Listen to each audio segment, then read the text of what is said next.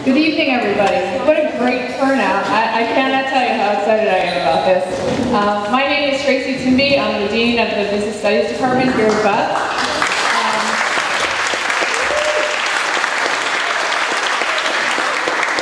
and this kind of turnout makes my day. I cannot, I can't even express my appreciation enough to all of you for coming out kind of a rainy night. Um, I know some of you were incentivized, but many of you came on your um, own accord, so thank you again. Um, we are very privileged to have author and entrepreneur Kevin Kruse with us tonight. As you can imagine, events like these don't come together very easily and only happen through the generosity and support of many people. Kevin, a Bucks County resident, appears here without charge. As you know from flyers that have been placed everywhere, um, he is an award-winning author as well as a columnist for Forbes magazine. Our generous sponsor, First Savings Bank, provided the food and beverage for you all, so if you haven't had anything, please help yourself. We have food for 100, although we have over 100 here tonight. My um, wonderful department faculty and administrative staff could I could not have pulled this together without them. Additionally, we have our award-winning business club members here tonight who are also very helpful in how to direct people in the rain.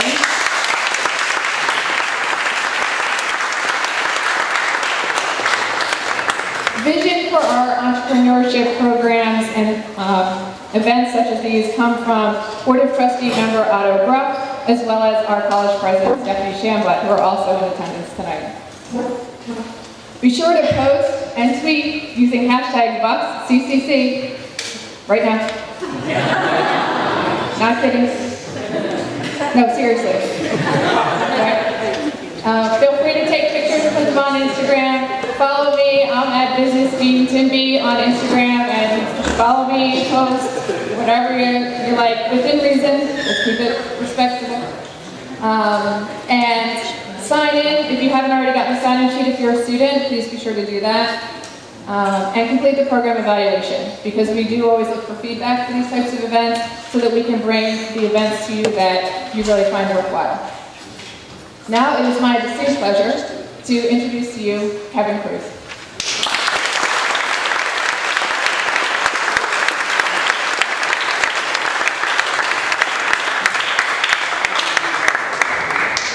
Thank you, Dean. Thanks everyone for showing up tonight. Just grabbing some water here. It's a little warm. I have a, uh, my oldest daughter is a senior at uh, Council Rock South. So as uh, she pulled into the driveway and almost hit me as I was driving out of the driveway, she just yelled, Dad, I have friends there. Don't embarrass me. so I'll, I'll, try not to do that. Um, I have some a, a handful of slides. I hate PowerPoint, I hate slides. But to sort of help me to stay on track about why I really do think it is absolutely the best time in the history of the planet to be an entrepreneur or a part-time entrepreneur or a solopreneur. Um, just to give it context, I wanted to share a little bit about my own journey uh, in, in business. And I remember really clearly the very day that I decided to become an entrepreneur. It's once upon a time, around 1977, Southern California, a hot summer day. It's good to be 10 years old, standing on the front lawn. I can remember I'm tossing an orange Nerf football, just hoping for a spiral, my friend Roy. When you're 10 years old, you are really living in the moment you, your friend, the grass, and just trying to get that spiral every time. A car quickly drove by the house and caught our eye. See that? It was a Corvette. And I didn't grow up poor, but I grew up maybe lower middle class, and there were no Corvettes in our neighborhood, so that was something to see at 10 year old. And then all of a sudden, it turned around, and it pulled up to our house and pulled up to the front curb. What's that all about? The guy's probably lost. He's going to ask for directions. He's not from around here. A big guy gets out. Really big guy. I don't know how he fit in that car. Black suit, mirrored sunglasses, and one other sort of odd thing. He only had one arm. His shirt sleeve was pinned up on the one side. As a 10 year old, this guy looked like a villain out of a James Bond movie. Took one look at me and he marched right up on the lawn, looked down, says, Is your father home? I said, No. Is your father John Kruse? Yeah, yeah, that's my dad. Is he home? No. Are you sure he's not home? I can see myself in his mirrored glasses. He ain't home. I don't know he's going to come back. This guy hands me his business card and says, Tell him to call me. He's, he's going to call me. And he drives away. Well, that doesn't happen every day. Dad comes home at night after dinner, and he's sitting at the kitchen table with his black cup of coffee, just kind of staring at me. And I tell him about the one armed man. Give him the card, he looks at the card, just tosses it. He's looking down at his coffee. What, what's that all about, Dad? You gonna call him? Nope. Well, what's he want? He wants money. You're not gonna call him? Aren't you scared? Nope. I ain't scared. Why aren't you scared? You look like a pretty scary guy. Finally, Dad looks up. He says, because there's nothing left for them to take. What I didn't know, my dad was an entrepreneur, and he had tried several different businesses, and he ended up buying one. It was a company that made pool tables of all things. And he leveraged the house to buy the pool table company. That pool table company struggled and struggled. And like a lot of businesses, it was undercapitalized, didn't have enough money to ride out the hard times. And he had thought that, um, that, that we had a saving grace. It was back around Christmas time. Apparently in the pool table industry, almost all the sales are around, around Christmas. And there was a giant order that had come in. And my dad put everything he had in it to, to build the pool tables, put it on a truck, and the, the dealer was outside of Las Vegas. We were in Southern California. And my dad got the call in the middle of the night that that truck, the driver had fallen asleep, crashed, flipped the truck. Fortunately, the driver was okay, but there was splintered pool tables all over the highway to Las Vegas that night. And that was the final straw. So my father went out of business, and we lost, you know, everything we had. We moved out of that house maybe two months after the, the one-armed man came by. So that night, I can remember writing in my journal, 10 years old, I don't care what it takes, but when I grow up, I'm going to have a lot of money. And today, that kind of sounds funny, like a, a Gordon Gekko Wall Street greed kind of thing. But you know, it was coming from the place of being a scared 10 year old kid and just never wanting to go through that experience again. So that was the day I knew that I was going to succeed, oddly, where my father did not. I once told a therapist that story, and she said, Kevin, the only thing I don't understand about that story, I follow you right up to the point where you decide to become an entrepreneur. it's like, why did that scare you away? And I'm not sure why uh, that was the case. So I uh, was the first, first kid in my family to go to college. I paid my way through, through Rutgers uh, in New Brunswick.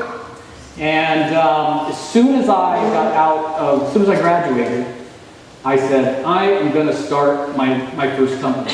Now, this was a time when there was a lot of excitement, I mean, similar to, to today in the computer industry and the software industry. I saw in person Bill Gates talking about the vision of the future, the vision that Microsoft was going to build, and I just felt like it was inevitable. And just as you hear it now, certainly back then, I mean, the folklore is a bunch of smart, hard-working young people in a garage inventing the next great thing, and, you know everything is successful that makes a lot of money. And I didn't have any money. I couldn't afford both an office and uh, an apartment, so I did the logical thing and I got the office. I was a 10 by 10 foot spare room in a small accounting firm in Skillman, New Jersey. And what they didn't know was I was living there. So I would work until about midnight. I would take my pillow out of the filing cabinet. I didn't have any customers, so I didn't have any files. And I would sleep under the desk. And then I would wake up at 5 in the morning before anyone else came into the office to see I was living there. And I would drive to the Princeton YMCA, take a shower, and then drive back in and start working for the day. You hear a lot these days about hustle. You know, bragging about the hustle, down with the hustle, it's all about the hustle. I worked 6 a.m. to midnight for 365 straight days. I mean, I worked it on my birthday, I worked it on Christmas, I worked it on the weekends. And at the end of that year, you know, I wanted to be the next Bill Gates, and I was not. Looking in that YMCA mirror, there was no Bill Gates looking back at me. So that business I shut down, and I had maxed out my credit cards, and I was deeply in debt. I worked for someone for about a year, year and a half, and then I tried again. Uh, this time with a, a, partner with a slightly better uh, business model. And that company lasted, I don't know, a year and a half, maybe two years, and it was sustainable but not great. Uh, partnerships are hard in any situation. Being a non-confrontational introvert it's not good. I didn't know how to fight. I didn't know how to, we both didn't know how to fight productively. We didn't know how to talk. We didn't know how to, how to allocate responsibilities and roles. So we agreed to shut that company down. Strike two. I guess I was about 25 years old at that time and uh, got another job for a while and then uh, paid off the credit cards. I always felt as soon as I got to zero, I could go back into debt and start again, which I'm not advising. Um, Third time uh, was the charm. So the third business I had, which was, uh, to put it simply, sort of an online, uh, uh a computer training company for corporations. It wasn't in the education space, it was more in the corporate training space. And remember, I mean, I was doing this, I didn't really realize this back then, for the wrong reason. You know, I was trying to get to a certain financial level by the time I was 30. Like in my mind, I needed to beat the one-armed man by the time I was 30. Why 30? I don't know. So I, uh, I had built the company to about a million dollars a year in revenue, which is kind of a magic number for sustainable, you know, small, small company. I've been at it for almost five years. It took me a long time just to get to that one million. And um, things were okay, but at this point, you know, you're 30 years old, you're married, you've got little kids, uh, you know, your spouse is expecting you to scrape wallpaper on the weekends and paint and all this horrible stuff. You know, it's not as easy as when you're 21, and I was tired. And there were a couple of companies that had sent me uh, letters and then visited to say, hey, we like what you're doing, we might want to acquire your company, want to buy you out. But and I was very eager. I mean, hey, you know, uh, I want to I want to beat the one-arm man. If the number's right, I'm, I'm going to do it. And those things didn't work out. And I can remember uh, I was probably eight o'clock at night, long day. Get back to my desk, and just as a like a break, I'm going through the mail, and there was a letter that uh, it had it had a typo in my name, and the way they had addressed the letter, I could just tell even from the envelope that they had obviously bought my name from some list. It wasn't a personal letter. But I opened it up because I was kind of bored, and it said, hey, we're interested in uh, maybe acquiring your company. Uh, we're looking at these companies in this space. And again, there were typos in the letter. I could tell this was just a joke. And I crumpled it up, threw it in the trash can. About 10 o'clock that night, when I needed another break, go back to the desk, and I thought, you know what? If they're mass mailing these letters out, it's true, I'm not interested, but it means all my competitors are getting this letter too. I'd probably better find out more about these people who are trying to buy companies in my space. So I dig the letter out of the garbage can, and I read it again, and it caught my eye, I said, all right, I'm going to call them. It was after hours, and I called, and Barry Raymond, his name was, answered the, the, the phone. this is a time when you know, mobile phones were big giant bricks so that was unusual that he answered the phone. And he very quickly convinced me to take a meeting. And that's sort of a strategy. A lot of people, you know, in sales try to sell for the end thing. It's easier to sell each step at a time. He wasn't trying to sell me on selling my business or why they were the right. Thing. He just said, take a meeting. I'm going to sell you on the take a meeting. Sure, I'll take a meeting. That meeting impressed me enough where they set up for me to drive to meet their CEO in King of Prussia, Pennsylvania. Rudy Karsan. And at that point, I thought I was just kicking tires. I wasn't sure if they were serious or not. You know, I kind of had a number in my mind. Okay, this is the number I need to sell. And Rudy's an interesting character. He, um, a couple years ago, he ended up selling his business to IBM for $1.3 billion. And at the time, his business was a $35 million company.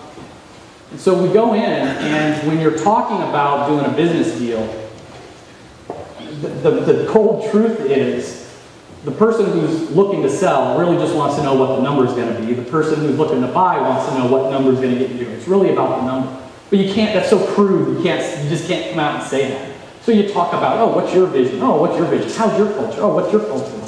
So you go through this dance. So I knew that, and I said, so Rudy, um, you know, tell me, what, uh, what plans do you have for, uh, for your company, Kenexa? You know, what, where do you see this company in the future? And you expect to hear the normal, oh, we're going to grow and invest, it's all about the customer, and blah, blah, blah. He said, I want to be the first company that opens an office on Mars. what? I laughed. He says, no, I'm serious. He says, I, I, it's uh, my goal in life to get to Mars before I die. And so I want to open a branch office on Mars. Well, that caught my attention.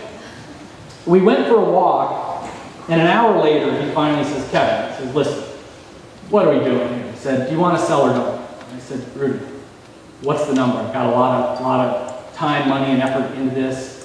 What's the number? He ended up giving me a number that was double what I would have taken.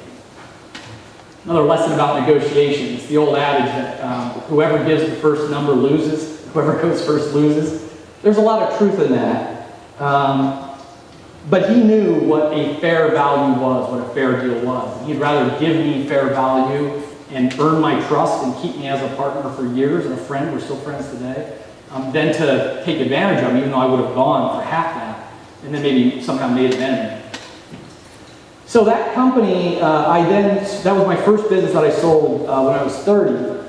And I spent about five years working with Rudy. And it was the late 1990s in what was a dot-com bubble. Some people think we're in another one right now. Valuations were going sky high. We raised $35 million of venture capital. The plan was for us to go public, to go IPO.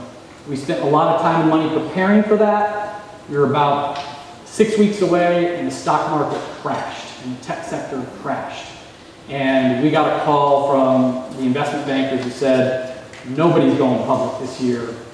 You guys need to stop growing and worry about surviving. This was the hardest business day of my life. Our strategy, what I was told from Rudy, what everyone agreed to, was raise the money, spend it, higher, higher, higher, grow, grow, grow, sell, sell, sell. Don't worry about profits because we're going to get more money when we go public. It's a game see who can get big fast. It changed literally in a day. And Rudy called me and said, Kevin, you've got 24 hours to pick which third of your department, your team, you're going to fire. So day after tomorrow, you've got to fire a third of your people. Now, many of the people on my team, I had only brought on and hired a couple of weeks before. You know, I convinced them to leave solid, secure, good paying jobs. You know, I sold them on the dream, and here it was two, three weeks later, I'm laying them off. Worst freaking day of my life. It was awful. That, uh, I ended up leaving that company, starting another business called, um, uh, sold, sold another division, started another company called Axiom Professional Health Learning here in Yardley, uh, not far from here, right across from Shady Brook Farm. And in, um, because I knew what I was doing this time, in about four years, grew that to be a $12 million a year business. And then sold that to a company that's called Huntsworth Health out of, um, out of England. And they're still there, they're doing, they're doing fine. I, I, I, have three kids at home and decided after that business that I would slow down a little bit. So I've been doing uh, some nonprofit work, working with some associations, and a passion of mine is writing. So I wrote, I started writing in earnest, and I've uh, primarily been writing about leadership. I've got a new book that's coming out in a couple of weeks. I've got a couple of co copies I'm going to give away that's all about time and productivity, which is a bit of a, a shift for me. Uh, it was a fun project. I ended up interviewing seven billionaires, including Mark Cuban, um, over 200 entrepreneurs, including the co-founders of Airbnb and Facebook and uh, Groupon, all these companies, just asking, what's your number one piece of advice for time management? What's your number one secret to productivity? Interviewed 13 Olympic athletes, gold medalists, and I interviewed 29 high school and college students who um, were straight A students. What is your secret to overcoming procrastination? What's your secret for overcoming social media distractions? And I created this book, you know, 15 secrets uh, successful people know about time management. So I've been shifting from the entrepreneurial stuff. I still invest in a few things. I was a, a partner in what was Team Capital Bank not far from here that we sold a couple years ago. So I'm still active in small ventures, but I'm now spending more time uh, writing and speaking when, when, I'm, uh, when I'm asked to. Um, I wanted to give you that context because I don't have a lot of slides, but I want to let you know that this is where I'm coming from. I want to quickly share my thoughts and then really spend the rest of the time on questions. I'd rather hear what's on your mind, get any questions you have. If anyone's interested in, you know, maybe you already have a startup or a side um, business, I'd love, I'd love to hear about it. So, on that note, when most people talk about or celebrate entrepreneurship today, they're talking about these crazy, extreme uh, deals that are going out there. You know, Facebook buys Instagram for a billion dollars. Now, that's old news, that's a couple years ago, but the reason why that was so shocking was one, Instagram had no revenue, they had no sales. they were given a billion dollars even though they weren't earning any money themselves. They had a handful of employees, were a couple years old, and Zuck gave them a billion dollars. Facebook to buy WhatsApp for $19 billion in a deal shocking. Similar story. They had some revenue, and I think 20 employees, A company that's a couple, just a handful of years old, getting $19 billion. Uber. Who rides Uber? Amazing, right? Awesome company. Uber is valued at more than $50 billion. They don't own their vehicles. They don't own real estate. They don't own anything. It is an app. It is an app. It's digital. Bits and bytes worth 50 billion. I mean, it's crazy. And look at this. So Starwood Hotel, giant chain, global chain, is right now has a net worth of $14 billion. Marriott, we all know Marriott, $21 billion. You guys know who's coming next? Airbnb, $26 billion. Airbnb, they don't own any buildings. They don't own any real estate. They have one one thousandth the number of employees that the others have. They're an app worth $26 billion. Silicon Valley calls these unicorns. I am not talking about these companies when I say it's the best time ever to be an entrepreneur because these are unusual, these are rare. We could be in a bubble, who knows? I'm talking about it's great for everyone to be an entrepreneur. That for every one of those, there's a million other people that are making great money, great lifestyle, whether as a solo entrepreneur or with a, with a small business. Um, I think the mythology around these unicorns is sort of uh, uh, giving people the wrong idea about why you might want to do it. The reason why I say it's the best time, uh, four reasons. Access to capital, which is just money, cost of technology is low, the size of the market is doubling, and the cost of labor is low. So when I talk about access to capital, um, just to put this into perspective, I mean, if you think about it, I mean, for most of, of know, civilized history, to start a business, I mean, you needed a lot of money. If it, if it was agrarian, you needed land. You to buy land. If it was uh, industrial age, you needed a lot of money to build a factory. Even recently, so 20 years ago when I started my company, there was a vague notion that maybe there's a small business loan out there, but it's confusing and hard, and probably they're not going to give money to a 21 year old kid who's never done this before. And there's bank loans. Banks don't lend money to you unless you don't need the money. Sorry, the bankers in the room, but that's basically true. So most banks lend if you have collateral. Well, what are you going to put up? so that we know we're getting our money back. You willing to put up your house? Oh, you don't own a house? How about your, the building that you work in? Oh, you don't own that building? Well, the car you're driving probably ain't gonna cover it, right? You can't get a loan unless you already have money or, or a sustainable business to, that they feel confident to pay it off in. What's the world like today? Venture capital investment hits an almost 15-year high. Venture capitalists, if you're in the right space and know the right people, I mean, this is crazy. They will fund, valuations are at crazy levels.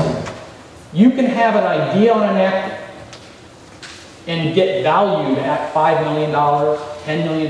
You can have a term for it. Um, PPV, your pre-product valuation, how we will value you before you even have a product. so they're funding companies even though they don't have a product. Uh, there's more angel investors than ever before. So what's happened is Silicon Valley uh, out in California, Silicon Alley in New York, even the Philadelphia area has some, some angel networks. All these entrepreneurs, the Facebook millionaires, the Apple millionaires, all these people that have had some success, well, what do you do? Oh, well, I think I'm a genius at business, I like tech, let me invest in other startups. There are more angel investors than ever before. Just search angel investor on LinkedIn you'll hit a thousand people that you can send an email to and say, hey, here's an idea, do you want to fund it? I get about five of those emails a day. Who needs stinking angel money? Who needs stinking venture capital when you can just crowd fund, right? So Kickstarter, this is one of the most successful crowdfunding campaigns ever. So this guy um, invented the coolest cooler. It ain't no regular cooler. It's got a stereo. You can charge your phone. It's got all this cool stuff in it. He raised $13 million. If you're not familiar with these websites, you go on, you browse all these crazy good ideas, games, books, film projects, businesses, tech, tech projects. You read about the project and you say, okay, yeah, I'll give you a $100 for one of those coolers. Or I'll give you 200 and you're going to give me a special, special color cooler because it's better. It's a cooler cooler. Um, but think about this. Bank loans, $13 million. Did anyone ask to see his resume? Did anyone ask what his collateral was? Does he own his own home? How's he going to pay it back? Has he ever run a business before? Can we see the product? What's your sales? The product doesn't exist yet. He's got a prototype. And there's tons of these deals out there. Who wants to invent um, a better way to harvest honey from bees? Well, this father-son team did. They said, hey, help us fund a company to make these honey bee things. $12.5 million raised on uh, Indiegogo. And who needs money anyway to start a business? Like, maybe we can just sidestep it. Because the cost of everything has just gone down. So, who needs factories anymore? You don't know Alibaba. Alibaba is the online clearinghouse for every manufacturer in China. You want sports equipment, you want mobile phones, you want TVs, you want anything. You can go browse it and go order 5, 10, 100, 1,000. I know a guy who um, saw a cell phone case, smartphone case in the mall that he wanted for 20 bucks.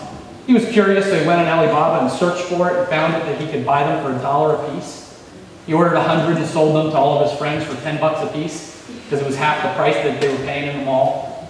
I mean, you, you don't, you can outsource your manufacturing so easily. I've got a lot of friends that, uh, you know, they want to invent their own product. So they'll find something similar on Alibaba, reach out to those manufacturers and say, hey, I want to do a custom project.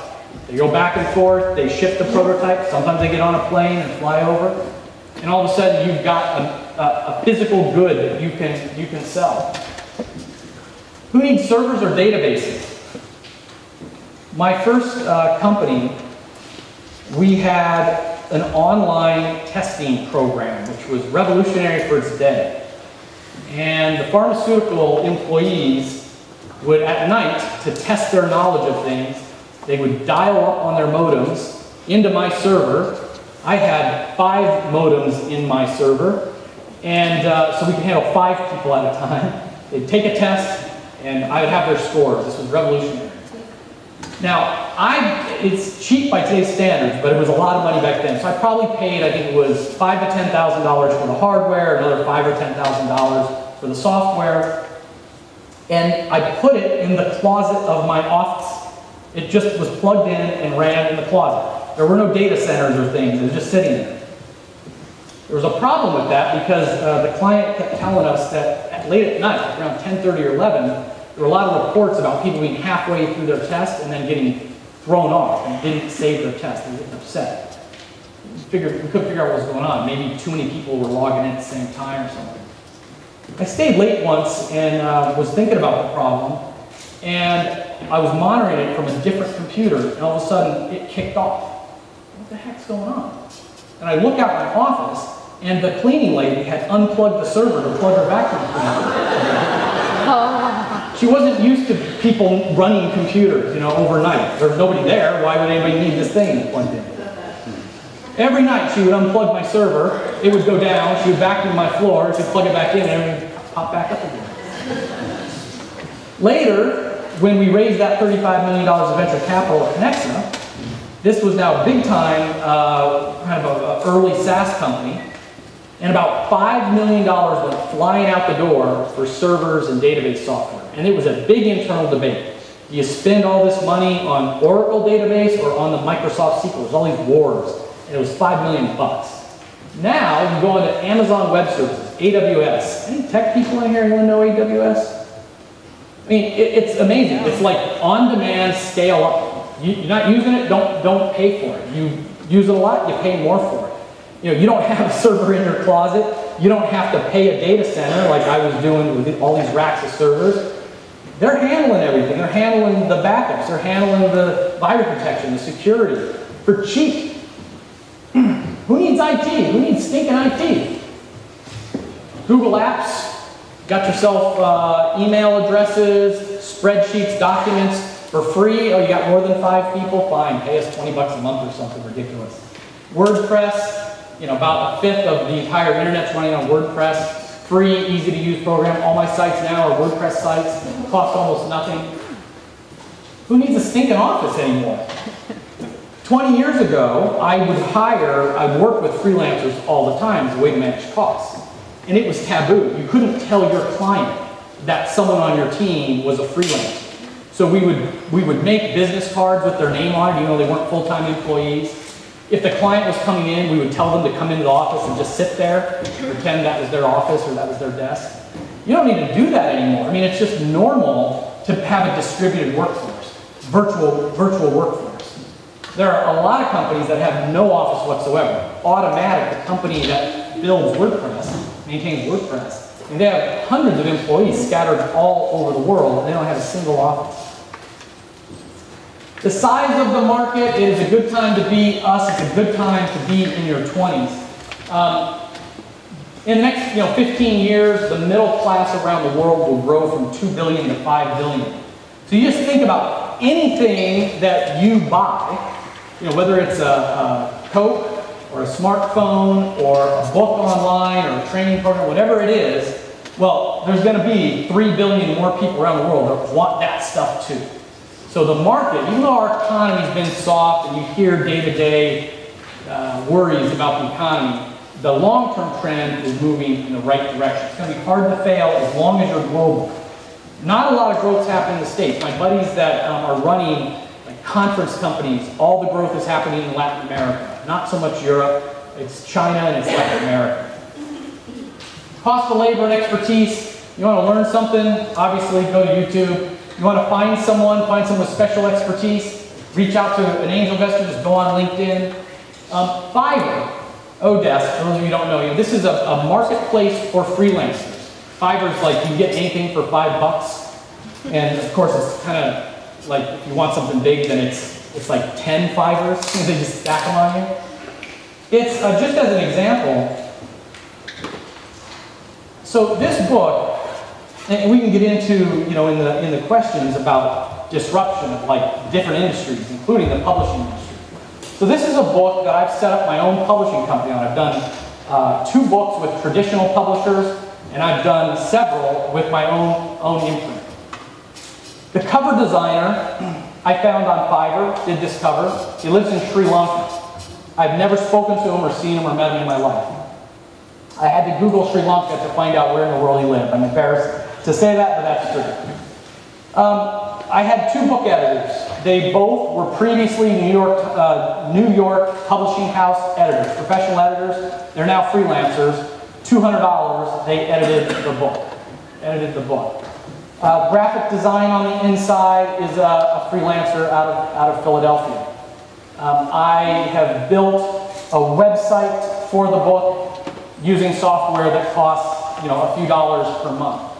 Every single thing has been outsourced. You know, I've got, um, because of this book launch uh, that I'm doing, I needed, uh, I needed a full-time support person, but I don't want to hire a full-time employee for all the headaches that go with full-time employees. I posted on Facebook that I'm looking for someone to fill this thing.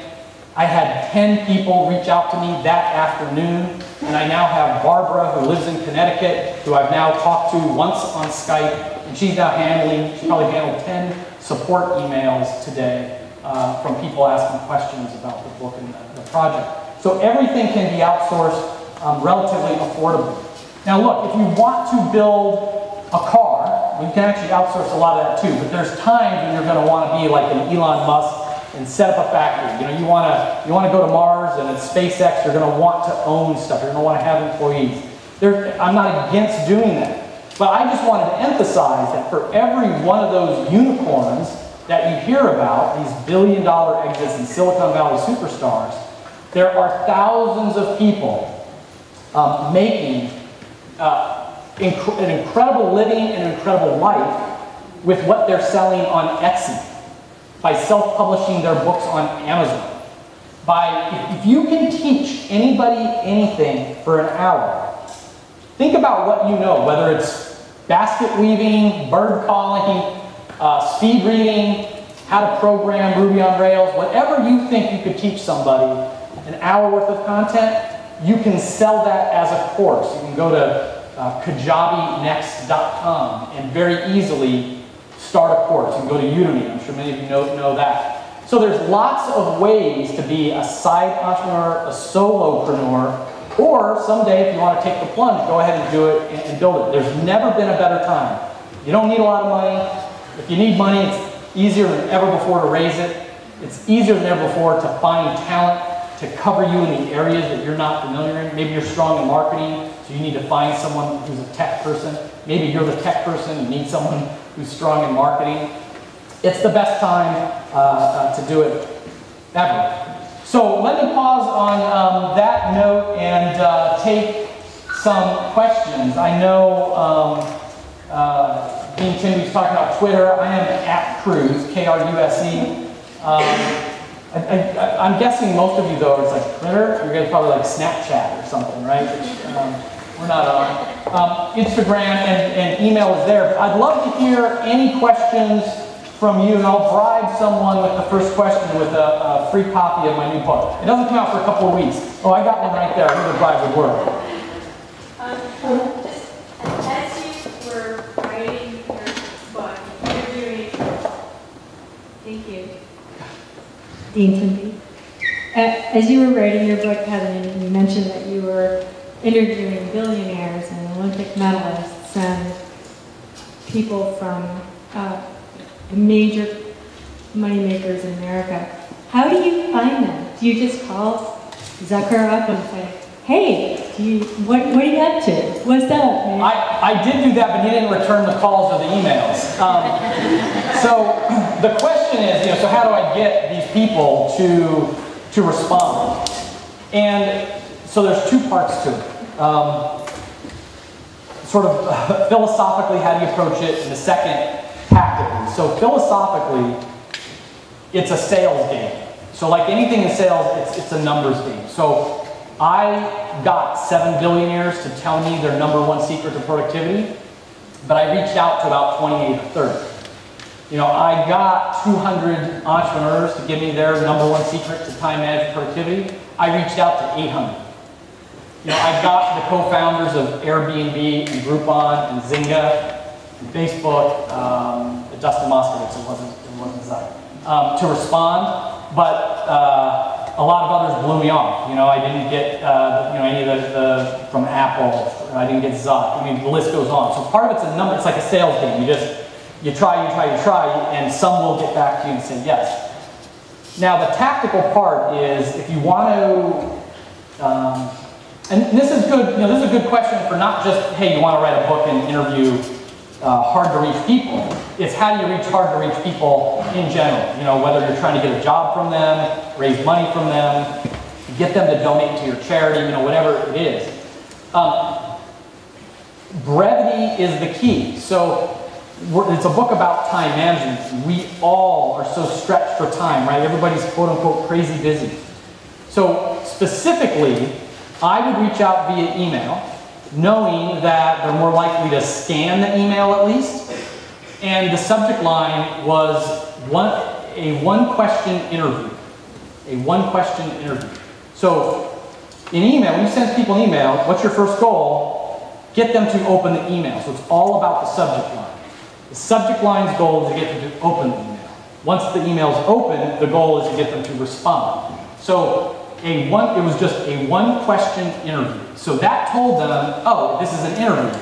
Is it a major media outlet? Is it a small media outlet? Is it from a student? Is it like, you kind of wonder. An interview, even highly successful people are used to talking to the press. They want press. They're thinking about getting their message out. One question interview. One question tells them it's fast, and also curiosity factor. That's weird, a one question interview. They open it. Job one is done.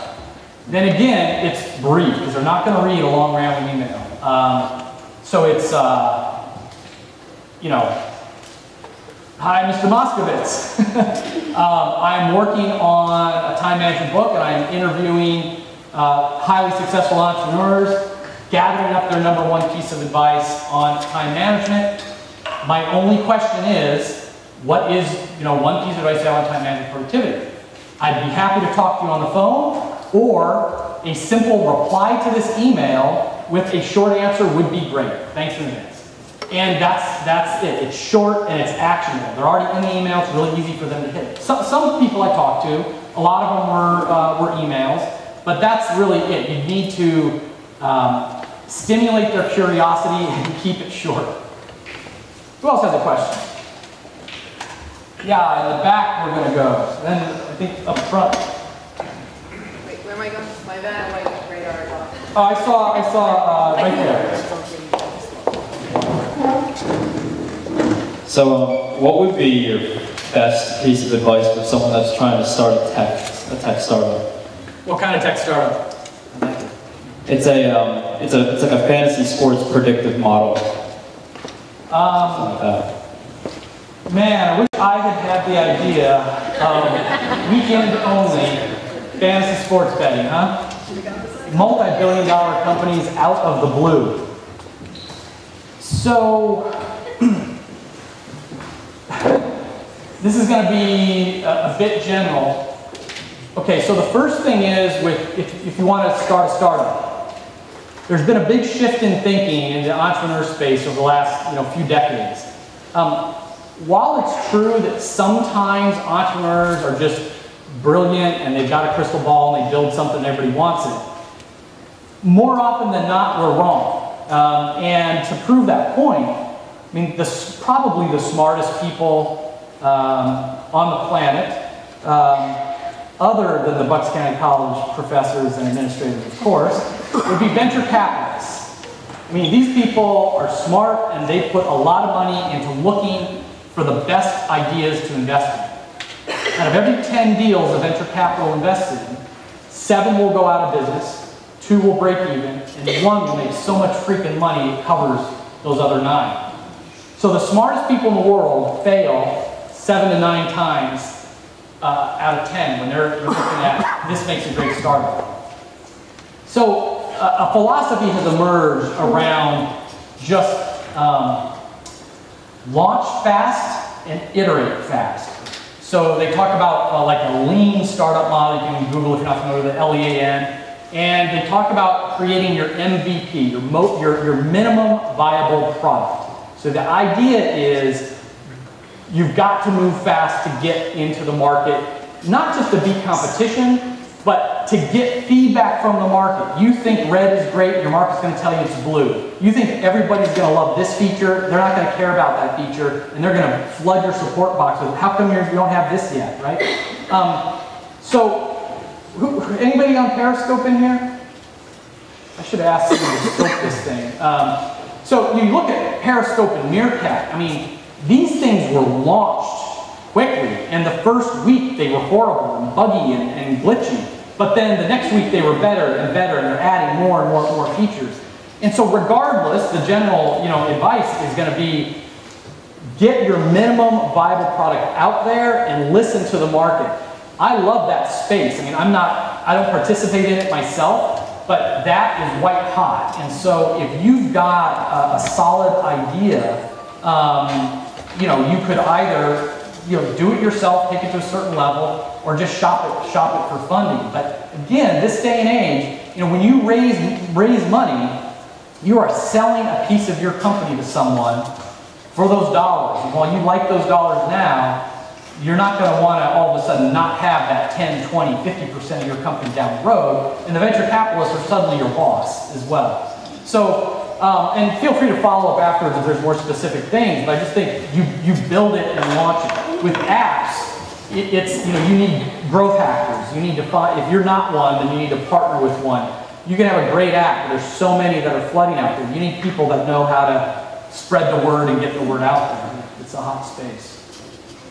Uh, I think we have, we're up front here next, and then sorry to make you run around, Dean. I just, yeah, exactly. Thank you. It seems like the, the valuations of profitable companies, the ones that have recurring revenue models, are so much larger than the one and done ones. Yeah. So if you're in a more traditional space and you're in a one and done, is it worth pursuing in this day and age? Are you starting to chase financing and try to grow? Or do you want to find something that has recurring revenue? Yeah, so uh, I'm impressed with, uh, with that question. So the problem with a lot of businesses are that, um, you know, if your business is just to sell a widget, you know, a product, when you sell it, that customer goes away, and you need to find a brand new customer to sell another widget to. Um, in the old days, you know, you would buy software, so I'd pay $200 or something for Microsoft Word, and I wouldn't give Microsoft any more money uh, until, you know, I upgraded, and I would delay that for as long as possible because I always hated the new versions. But eventually, they just stopped supporting the ones, and then they get money like four or five years later. With software as a service, a SaaS model, all of a sudden there's this recurring revenue model. And that's the ideal business to have of any model. It's, hey, you know, Kevin, you're not necessarily going to pay me $200 today. I'll take a lower amount. But you're going to pay me every single month, over and over and over again. And it gets into things about um, low barriers to entry. You get people into your, your service or your product. And then you erect high barriers to exit. Why did Ashley Madison get hacked? Not looking for personal stories, I'm just... the hackers claim they did it because, and they brought publicity to the fact, that once you sign up for Ashley Madison, and you want to delete your account, uh-uh, you can't just delete your account. They're not going to erase your data. You've got to cough up $200 or more to erase your data. And then it turns out they weren't erasing it, they were just taking your $200. That's called a barrier to exit. Oh my gosh, to quit Ashley Madison, I gotta pay $200? Luckily I could afford it, but that's not the point. so, a software as service, a recurring revenue model, is everybody's dream. I mean, that's what it is. And that was the, the company I raised venture capital for. It was a SaaS business. That is hot. Having said that, the real answer, and this sounds soft, is you need to build the business that you're passionate about, not that's going to make the most money. Because you can still make plenty of money and have a successful business selling all kinds of stuff. You know, whether it's selling time, which is, you know, if you're a consultant, you're selling your time. Uh, uh, that's tough because you want to make more money, you've got to work harder. That's not a great, that's not a scalable business. You can still have a great lifestyle a great company doing that. And if you enjoy it, that's the thing to do. You can still have a great business selling candles or copies of your book, but it's not a recurring revenue model. And for any entrepreneurial venture, I mean, it, it's, it's always hard. It's always ups and downs. That's just life. I mean, there's good days and bad days, good quarters and bad quarters. Michael Dell is you know, one of the smartest entrepreneurs on the planet. Dell is a huge success story, and yet they missed the boat on tablets and all of that. And you know that company's in trouble, and he took it private. He's got all kinds of problems he's dealing with. You're gonna have problems. You're gonna work hard. So I think pursue your passion. What's the great idea that you would kind of want to be involved in? I'm guessing someone's kind of into fantasy sports in this room, right? The trick is to see if you can find your passion and then create a recurring revenue model. And you know, there's uh, like gift boxes and things are, are very popular now. You know, hey, I'm really into tea, I guess. I'm just making this up. I could probably find the Tea of the Month Club that sends me new tea and a little book and blah, blah, blah, and I just keep paying them like a subscription every single month. So do what you love, what you're interested in, and then try to match, try to get the best model onto it. Make sense? Great. Up here, up front, Dean, I just let you pick them since you could just pick closer ones. Hey, what are you saying? I've only got two I'm left. to. I've only got two left. to it. Where am I think we're right here.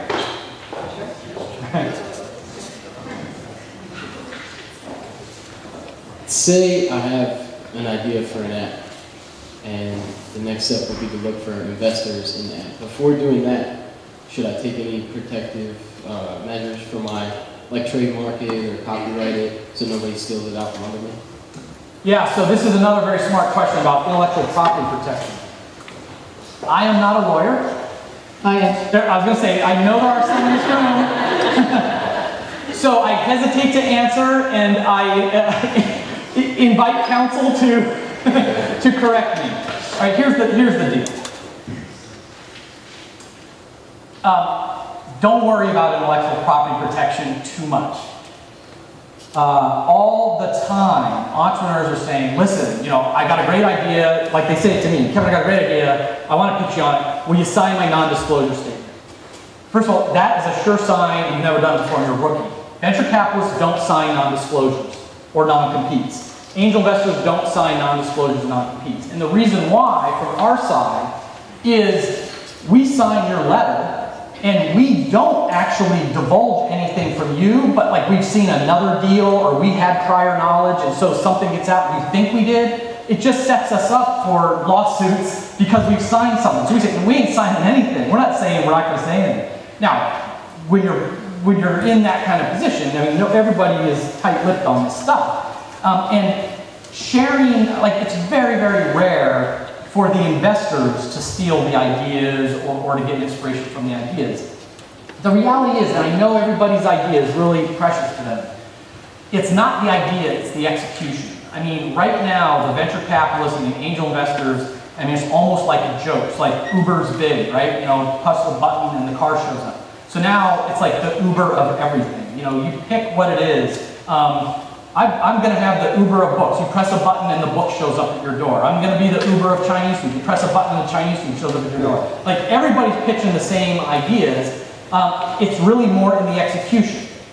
Now, having said that, I mean, I think that it's um, wise to seek counsel, and when you have an act stuff that can be uh, code that can be copyrighted, and if you're if you're looking to, um, if you think the app name is important and all that, you should you know look do do a trademark search. Attorneys will walk you through that, but don't get hung up on on that. I mean, there's the ideas are out there, as great and as unique as your ideas. I bet there's other people working on it. Amazon was not the first one to do online books. Uber was not the first one to do Uber. It's in the execution. Um, and I would even go further and say, but you know, you don't need a lot of money to, to do apps. If you, you can find partners who can, you know, Ruby on Rails that can get you going pretty fast or, or do it yourself, or go to one of these um, code camps, you know, in Philadelphia or elsewhere, where you all go into a room, you buddy up, and you build a product in like two days and launch it. You can go far without money. And what impresses the venture capitalists or the angel investors is when you say, hey, listen, we've got a, a- an MVP, a minimum viable product here. It's not on the app, so we're not releasing, but we can show you the vision on this and raise money from there. Once you get some interest, once you get around, then go hire a counsel and protect it. But I wouldn't worry about talking to the money people about it. All right? Uh, time for one more, I think. Dean, you want to pick?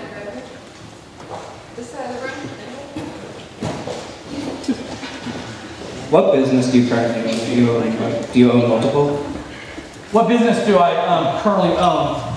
I'm, you know, I would consider myself more um, of an investor than, a, than an owner operator right now. Uh, I'm like there's I've got uh, some buddies who own uh, a couple of commercial office buildings in uh, Westchester. Um, we got we. I'm not a banker, but you know a bunch of us had owned uh, Team Capital Bank up until I guess it's almost two years now. I was actively investing as an angel in a lot of the Philadelphia area uh, uh, tech companies. I'm not such a fan of angel investing for myself these, these days. Um, and so the, the quote unquote business that I would have is more typical of like what you'd see from a consultant. So, you know, I write a lot of things and there's book royalty income. There's speaking income, so I'll do like usually, you know, I'm on an airplane once a week doing a keynote speech somewhere. Um, and then the third revenue stream related to the books uh, is, is online courses. So if someone, you know, reads the book and likes the book, they can pay $1,000 and take a six-week, you know, online program with me about productivity. But that's more of a, um, it's a, it's a leveraged content model, uh, but it's more of a consultant model. It's not really a traditional. Um, how are we doing on time? What do you think? It's, uh, we got about five minutes. I'm happy to stay, but Anybody else? let me, um, but before we do this question, let me, let me, uh, tell everybody, so who wants to get a copy of that book? All right. Every single one of you can get a copy of this book for free. Here's how. This book comes out on October 12th. Uh, if you want to join what's called my, my book launch team, um, go to kevinkruse.com forward slash blog, or just send me an email, I'll send it to you. And it will give you the details. Basically, you're going to fill out a little form, and immediately, or within 24 hours, you get an email that gives you the electronic copy of the book, either PDF or Kindle, whatever you want, like within 24 hours. The week of October 12th, I email you and I say, hey, hope you like the book. Regardless, I'm hoping you'll take a couple minutes to leave an honest review on Amazon. If you say if you don't like the book, just say you hate it. And let me know that you left an Amazon review, and I'll send you a, a copy of the physical book. I'll pay for the shipping and the book and everything. So if you just want to sign that at that form, you'll immediately get the digital version of the book. If you want to leave a review on Amazon in a couple weeks, I'll send you the, the. All right? And speaking of reviews, make sure you fill out your evaluation before you leave. Please. Uh, Again,